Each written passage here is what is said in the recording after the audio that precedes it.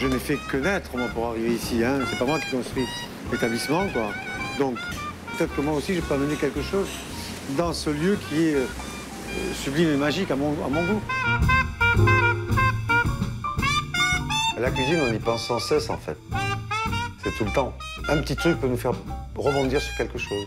Et puis, euh, on peut avoir une idée à un instant T que l'on reproduira un an après ou deux ans après. Passéda du bleu dans l'assiette, lundi après le soir 3 sur France 3 Provence-Alpes et France 3 Côte d'Azur.